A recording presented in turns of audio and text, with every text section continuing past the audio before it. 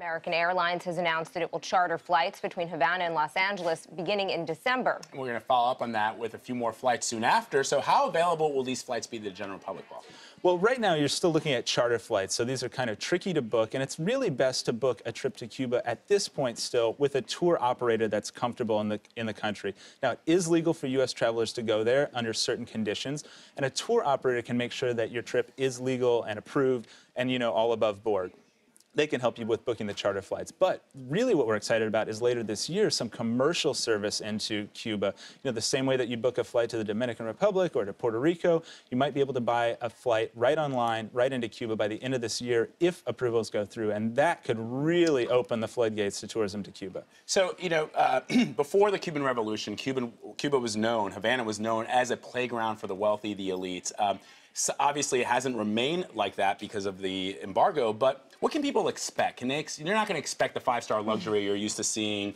in, you know, Costa Rica no. or in St. Bart's. Exactly, exactly. It's still, you know, a country stuck, you know, kind of in the past in terms of its infrastructure and particularly its tourism infrastructure. Now, there are resorts there that say Canadians, uh, you know, British folks are going there, and they have been going there for many, many years. But for an American tourist that's interested in the history and the culture, you know, things are still a little rough around the edges, and you should expect that going in. One alternative, a lot of cruise lines also going to Cuba are looking to start service there in the coming years, and that'll be another alternative for American tourists to get to the island, see it in an engaging and interesting way, but still have some of those, you know, creature comforts and amenities that they're used to. And Airbnb. Yeah, and Airbnb in there now with more than 2,000 properties across wow. the island. I mean, they're really growing quickly there, and an incredible way to sort of, you know, get under the skin of the place, I think.